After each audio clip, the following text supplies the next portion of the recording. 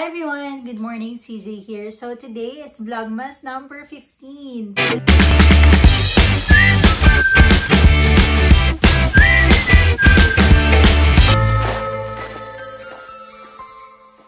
Ika-15th day na ng Vlogmas and 10 days na lang, Pasko na. On, uh, on yesterday's Vlogmas, what I did is I showed you my travel bracelet.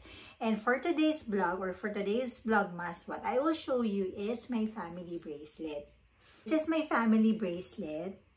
And um, like my travel bracelet, uh, matagal na rin siya. I think um, same year din ito na purchase which is uh, 20, ay hindi, hindi to same year na purchase kasi yung clasp nito is my CC. So this, the, the snake chain or the chain was purchased on a later date.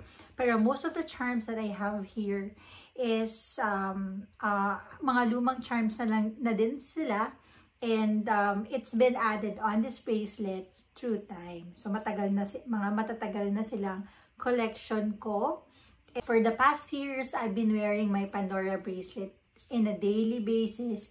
Tinanggal ko lang sila kasi medyo mabigat na nung sinusuot. Kasi alam nyo, pag puno na yung bracelet, medyo may weight na talaga siya. Medyo mabigat na talaga siya. Since this is silver.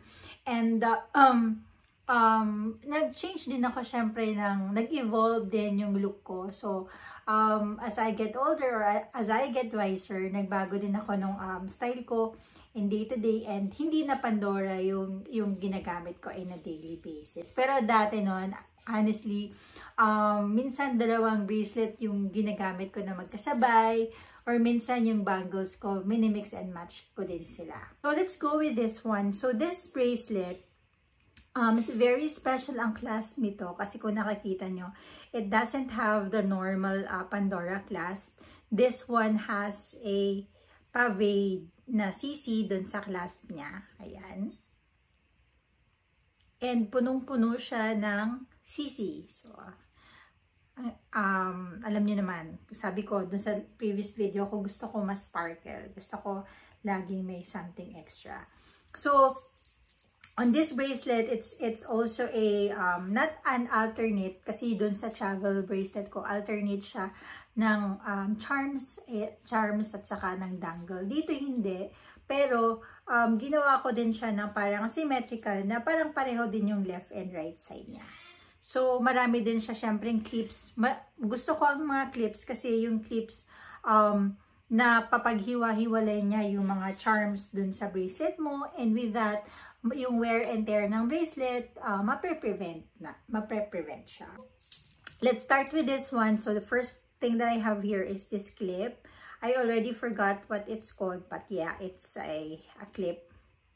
Next is a family uh, charm. So, this was given to me, I think, Valentine's Day. And then I have here a butterfly dangle. And then I have here a Murano bead. Um, this one is Cinderella now on na bead. Um, the reason why I have this one is because uh, I would want to have something that will complement this bead. So blue, then light blue. Next is this one. Um, this one has um, um, red na stones. It's it's not garnet and it's not ruby. So colored stones lang siya. But since I was born on January 1st, um, pinili ko yung red na color. Since yung um, garnet, which is my birthstone, is similar to this color. Ayan.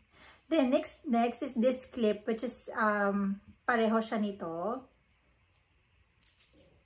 Then, this one, um, medyo natagalan ako bumili nitong, ano na to, nitong bead na to. Kasi, medyo expensive to. So, it really took me some time para uh, maka, maka, makabili ng dalawa. Actually, parang ang ginawa ko, isa lang muna yung binili ko. Then afterwards, saka ako bumili ng isa pa. Ayan. Next, this one. This one is the double happiness na, na dangle. Right? Then, next is this one. It's the first dance um, na charm. So, lalaki at babae siya na sumasayaw. Next is this dangle. So, this one is, ang nakalagay dito, I love you to the moon and back. Next is this Open Works, Family Open Works. So, uh, meron dyan um, um, uh, mother, father, tapos mga anak yata. Or mga, mga maliliit na bata lang. And then, you have here gold hearts din. And then this one, which is the other half of the double happiness na dangle. Then this one, which is the um, ka-pair nito. Um, Cinderella siya na, na bead. Then this one, which is one of my favorite clips. So this one is a heart clip.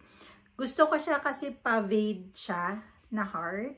And I also have this one in rose gold. Now, next is this. This one is a fleur-de-lis So, fleur-de-lis is um, parang symbol nung um, fraternity namin, which is Alpha Pi Omega. By the way, anniversary namin sa Apo tomorrow. Happy anniversary sa mga blood and sis na nanonood. Next is this one. This is a soccer ball na merong uh, red din na stone. Next is this. So, partner siya nito. Then a butterfly, which is of course the other half of this butterfly. And then a treasure chest. Tapos safety chain na hearts. Ayan. So this is my travel bracelet. Pakita ko na lang din yan mamaya. Uh, focus ko na lang din later on isa-isa. Um, yung charms para makita nyo. So, kahapon nagawa ko ng video regarding my travel bracelet. Tapos, um, nagtingin din ako dun sa Pandora site uh, kaninang umaga. Um, though I, I am already, um, I already told myself na hindi na talaga, hindi naman sa hindi na talaga bibili ng Pandora charm, not unless na meron talagang pinuntahan na, na place where, you know, like you would wanna rem remind you of that place or symbol for something. Mahilig kasi ako ng ganun. Um, saka lang bibili. Ngayon, meron ako nakitang Shaolong Bao na charm. Um, yung Shaolong Bao na, yung Shaolong Bao na charm, na-intriga ako. So, parang naisip ko na ano kaya kung bumili ako ng Shaolong Bao na charm. Parang gusto ko ng Shaolong Bao na charm. Teka lang. Pakita ko sa inyo. Wait. Um, for those who like dim sum, and pumunta kami ng Taiwan last year. So, sabi ko naisip ko na pwedeng, um, pwede siya na representation ng Taiwan, yung Xiaolongbao. Kasi kumain kami ng Xiaolongbao doon sa... Ang daming cute na charms sa Pandora. For those who are collecting Pandora, ingat-ingat. Kasi alam ko na marami na din nagbebenta ng mga uh, Pandora na hindi totoo online.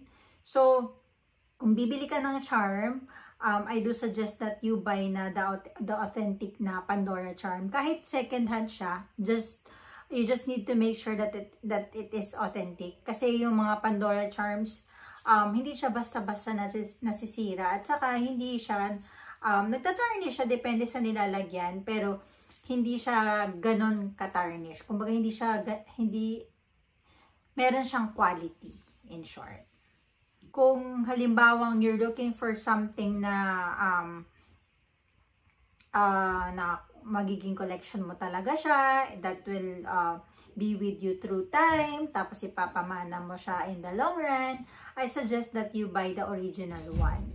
Or kung hindi naman, you buy something na in gold para maging maganda talaga siyang investment. By the way, pan, in, yung mga Pandora, you can actually resell it hindi mo siya pwedeng ipon, pero pwede mo siyang i-resell. And yung, res yung resell uh, value niya is hindi na masama. Hindi, hindi malaki ang depreciation ng mga Pandora item. Ayun! Ayan! Ayan!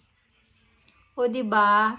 Ang nakalagay dito, Chinese Bow Dangle Charm. And ang cute-cute niya, 2,950 siya. And meron siyang pink heart. Ah, yeah, red na heart na sisi. So, inisip ko kung bibilin ko siya, tapos ilalagay ko siya dun sa um, travel bracelet ko. So there you have it. That's my family bracelet and hope you liked the video. Please give the video a thumbs up if you like it. And please do subscribe to my channel so dumami pa ang subscribers natin. Dumami tayo. And Merry Christmas in advance everyone. Have a great day.